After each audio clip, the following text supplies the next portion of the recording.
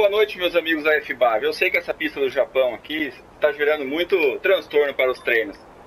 Após duas horas que eu estava aqui em frente ao videogame, cockpit, consegui achar esse setup e fazer uma boa volta.